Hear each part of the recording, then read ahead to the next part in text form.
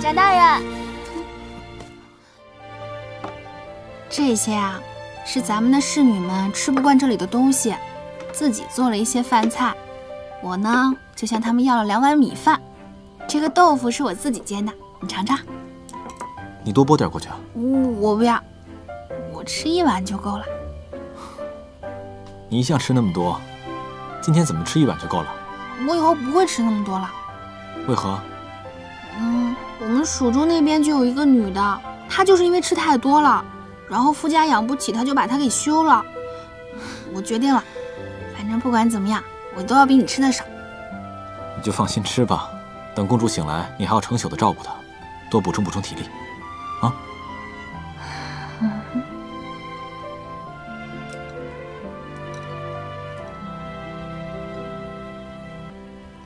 陈大哥，嗯，你的最后一剑是不是故意输给耶律菩萨奴的？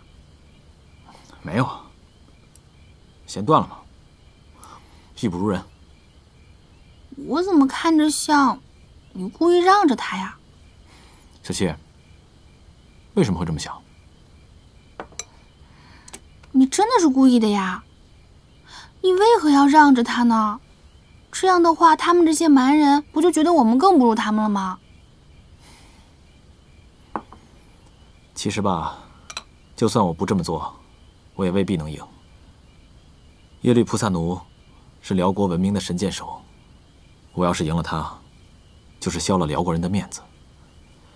就算是无意，也会引起无端的是非。咱们以后在辽国啊，应该收敛锋芒，否则会行事不易。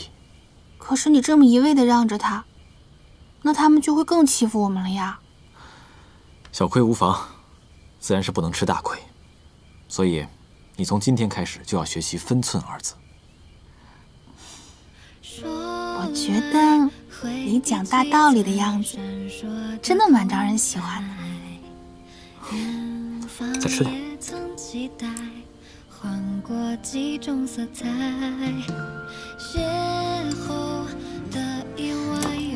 展大哥，刚刚公主在宴席上说她的心上人是你。公主的胡话，当不得真的。可是公主那么漂亮，你从来没有想过吗？没有，一点点都没有吗？我的心里只有你。那眼里呢？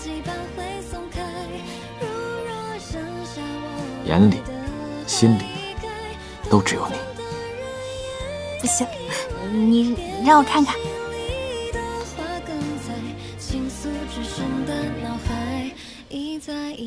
近点。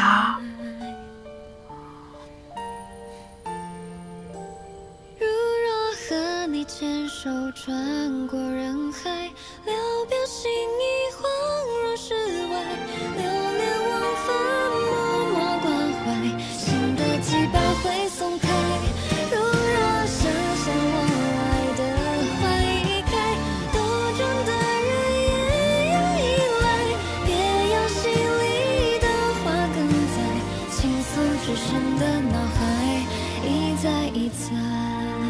展大人，公主，要不我晚晚点再来吧。公公主，没事，你说吧。我想让你陪我去送万年神龟。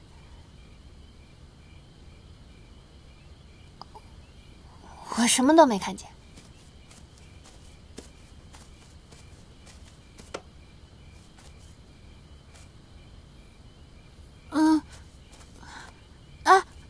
陆金好像让我一会儿去叫他。